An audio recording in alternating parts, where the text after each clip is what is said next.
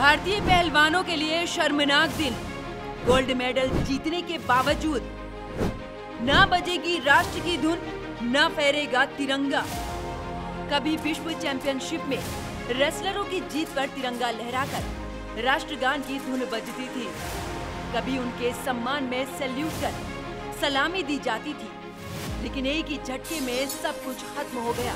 विश्व चैंपियनशिप में gold medal जीतने के बाद भी अब रेसलरों के लिए न राष्ट्रगान होगा और न ही तिरंगा लहराया जाएगा। वो इसलिए हुआ क्योंकि यूनाइटेड वर्ल्ड रेसलिंग ने रेसलिंग फेडरेशन ऑफ़ इंडिया यानी डब्ल्यूएफआई को निलंबित कर दिया है। इसका कारण ये भी रहा कि विश्व कुश्ती की सर्वोच्च संचालन संस्था यूनाइटेड वर्ल्ड रेसलिंग यानी कि यूडब्ल्यूडब्ल्यू ने इसके समय पर चुनाव ही नहीं कराए। ऐसे में ये साफ़ हो चुका है भारतीय पहलवान 16 सितंबर से शुरू होने वाली वर्ल्ड चैंपियनशिप में तिरंगे के तले नहीं खेल पाएँगे। अब उन्हें तटस्थ खिलाड़ियों के रूप में उतरना होगा। हालाँकि एशियन गेम में ऐसा नहीं होगा। वहाँ सभी पहलवान तिरंगे के तले ही खेलेंगे।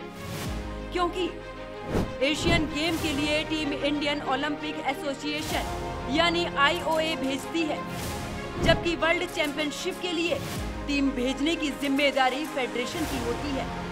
माना तो ये भी जा रहा है कि इस साल यानी कि 2023 जनवरी में पहलवानों की तरफ़ से फेडरेशन के तत्कालीन अध्यक्ष ब्रजभूषण शरण सिंह के खिलाफ यौन उत्पीड़न का आरोप लगाया गया था, जिसके बाद जंतर मंतर पर प्रदर्शन करने के कुछ दिन बाद ही फेडरेशन को भंग कर दिया गया था। इसके बाद आईओए ने कुश्ती का कामकाज देखने के लिए 27 अप्रैल को एडहॉक समिति बनाई और 45 दिनों के अंदर चुनाव कराने का ऐलान किया।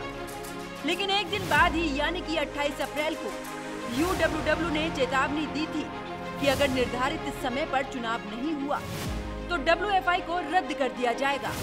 बहुत इंतज़ार के बाद आखिरकार यूडब्ल्यूडब्ल्यू ने 23 अगस्त रात को अपने निर्णय से डब्ल्यूएफआई को अवगत भी करा दिया है।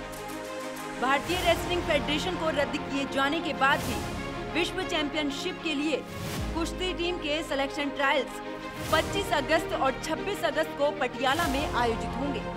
भारतीय ओलंपिक संघ की तरफ़ से गठित एडवोक समिति के प्रमुख भूपेंद्र सिंह बाजवा ने मीडिया को बताया कि ट्रायल्स पूर्व निर्धारित कार्यक्रम के मुताबिक ही होंगे। डब्ल्यू के चुनाव के लिए अब तक कोई तारीख तय नहीं। लेकिन रिज़ल्ट अभी तक ज़ीरो है। पहले सात मई को होने वाले चुनाव को खेल मंत्रालय ने रोका। फिर 11 जुलाई को डेट तय की गई। तब असम रेसलिंग फेडरेशन ने गुवाहाटी हाई कोर्ट का रुख किया और चुनाव फिर रोक दिए गए। हालाँकि बाद में आंध्र रेसलिंग फेडरेशन की याचिका पर सुप्रीम कोर्ट ने चुनाव का रास्ता साफ़ कर दिया। फिर चुनाव की नई तारीख 12 अगस्त तय की गई। लेकिन हरियाणा रेसलिंग फेडरेशन की याचिका पर पंजाब एवं हरियाणा हाईकोर्ट ने स्टे लगा दिया। ये केस अब सुप्रीम कोर्ट में लंबित है। नई कार्यकारिणी के गठन और डब्ल्यू के निलंबन वापसी तक ऐसे आगे भी संभव है कि भारतीय पहलवान अंतर्राष्ट्रीय प्रतियोगिता में गोल्ड तो जीते, लेकिन भारत का राष्ट्रीय गान न बजे। पंकज यादव के साथ Prachi Chaudhary, News Watch India.